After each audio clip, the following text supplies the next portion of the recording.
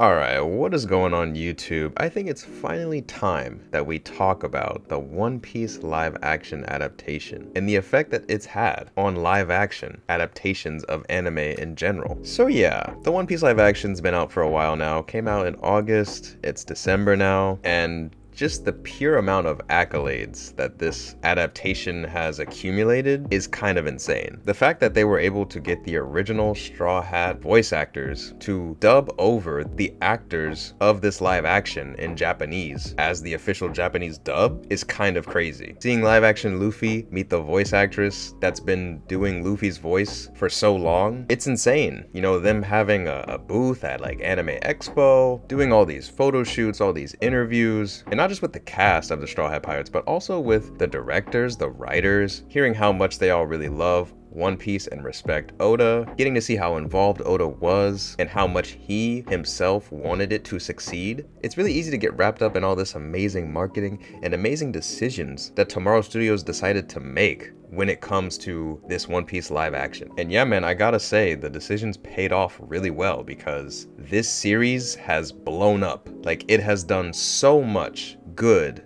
for I think live action adaptations of anime as a whole. I mean, even when I've been talking to some of my friends that don't even know that I do like a YouTube channel based on live action anime and stuff. I've been in discussions with them and they've been like, oh yeah, most anime live actions are really bad except for One Piece. And it's just, it's kind of crazy like hearing that, like, you know, just out of out of the blue, you know, without the context that I talk about this on my channel for like a hobby. So it's just kind of crazy. Like it's it's it's really eye-opening to see. Reminds me of like, you know, when there's a really overhyped anime that comes out and at first you're maybe a little bit scared to give it a try because of just the pure amount of people hyping it up saying, "Oh my god, it's the best thing ever made." Yada yada yada. For me, that was Attack on Titan when it first came out. But at the end of the day, I had to look at it as like, well, yeah, Attack on Titan's super overhyped at the moment, but at the same time, it's a dub for anime as a whole. Because when you think about it, anime was still looked at as really weird and people that like it are really weird, like around that time. Like it wasn't really accepted by everyone to like anime. So Attack on Titan was, you know, a stepping stone for breaking that barrier. Uh, the time it came out, you know, people were comparing it to The Walking Dead, saying it's the Japanese Walking Dead because it was that big, it was that huge. And yeah, overall, like Attack on Titan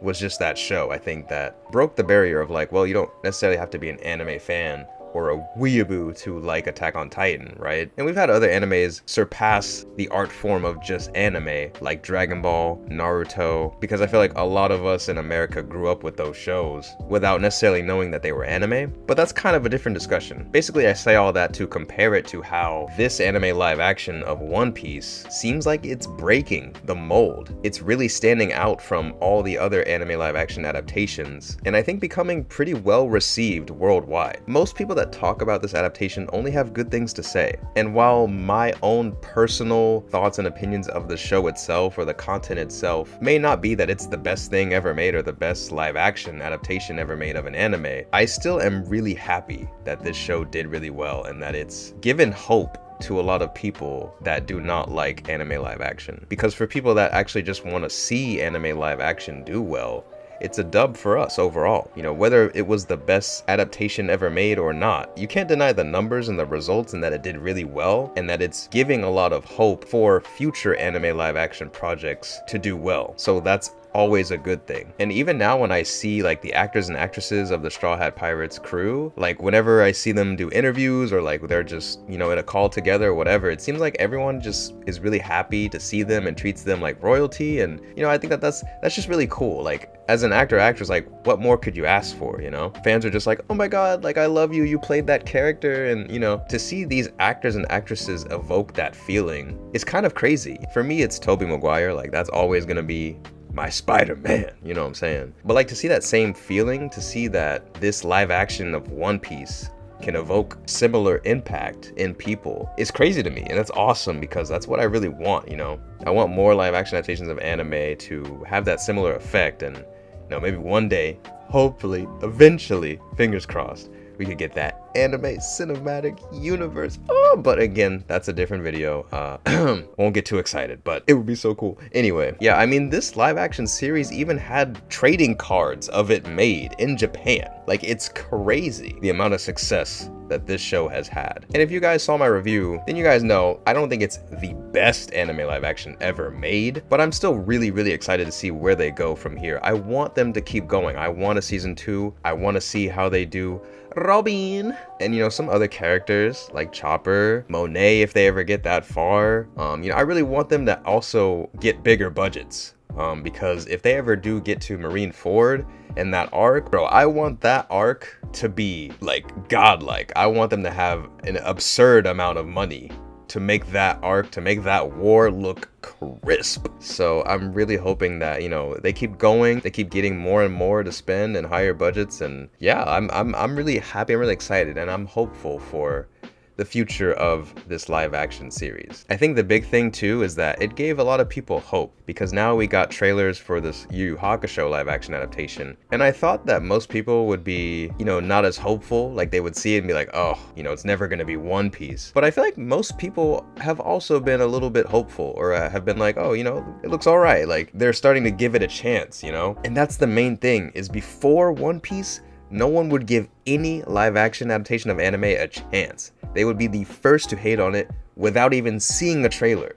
And you guys might think, oh, you're just exaggerating. But I'm not, is the crazy part. I was the only one actually talking about it. Like, actually giving these works of art a chance and talking about why they could be not so great or why they're actually really good, why they could be better. I was the only one, bro. Oh my goodness. Every single person I saw on the internet was hating on Cowboy Bebop before it even came out, before a trailer was even out, bro. Like, and it was like that for every live action, man. It was just, oh my goodness. But now, after One Piece, feels like we've finally reached a spot where maybe people are like, hmm, this looks all right. I'm gonna give it a shot. I'll give it a chance. And I think that's the biggest thing to take away from One Piece's live action debut. Um, so I'm really, really happy about that. Like I no longer have to be the only one giving these adaptations a chance. so that's pretty cool. Now, the downside to that could be that One Piece being so successful and so many people loving it could set people's expectations pretty high. Because while it does give people hope it also gives them expectations. And i feel like you know one way to be let down by anything is to go into it with expectations. So that's why for me even though the Yu Hakusho live action looked better than I thought it would, I'm still going into it with very low expectations because, well, you know, I have my own reasons and that's kind of a different video. But what I'm saying is I don't think most people will be able to know all the behind the scenes of like this Yu Yu Hakusho live action being made and the One Piece being made and, you know, just all the other live actions that have been made that have come from Netflix or other companies, not all of them are going to be in the know of like, you know, how these were made and, and what it means to make a film and all this stuff. So, which is why y'all should subscribe to the channel. But yeah, not everyone's going to know. So people see live action One Piece and they're like, oh, this was great. The next live action anime they're gonna see, they're gonna have that same expectation. And if it's not as good as the One Piece live action, they're gonna be like, man, it wasn't as good as the One Piece live action. So while it did give people hope, it also gives them something to compare whatever they decide to watch next to. And I'm not really sure how that's gonna affect people. It could end up making people think that One Piece is the only good live action adaptation ever made of anime. Um, or I think it could end up making people, you know, just think more for themselves and formulate their own opinions more, which is what I'm hoping. And yeah, I think not just with the One Piece live action, but also you see like the Avatar live action, which I don't really want to talk too much about because I'm not going to be covering that, but I just feel like, you know, you're starting to see a trend here of like Netflix and live action adaptations and them basically getting better to the public eye. And I feel like that is what's going to carry this negative stigma of like all anime live actions suck. And maybe we're finally going to get rid of that.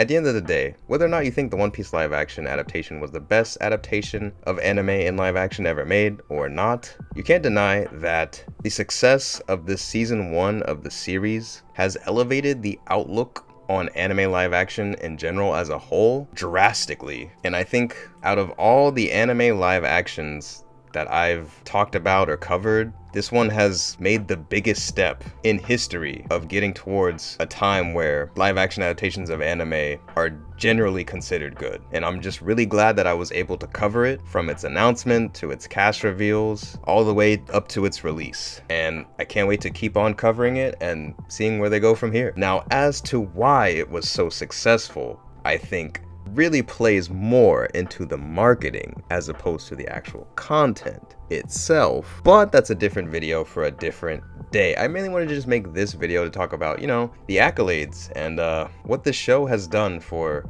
not only me, not only this channel, but for anime and live action as a whole. And I really wanted to know what you guys think about all this. And has it changed your perspective on how you look at live action anime as a whole? Let me know in the comments below. Please leave a like on the video and subscribe if you haven't already. That helps me out a ton. As you can see, my channel is dedicated to live action anime and how these directors and story writers, script writers decide to take the anime we all know and love and make them into live action. And yeah, that's what I decided to make my channel about and talk about because I'm a huge anime fan and I'm also a filmmaker. So it just makes sense. So if you want more, definitely subscribe leave a like, spread the word, all that good stuff. With that being said, thank y'all so much for watching. I really appreciate it, and I'll see y'all in the next video.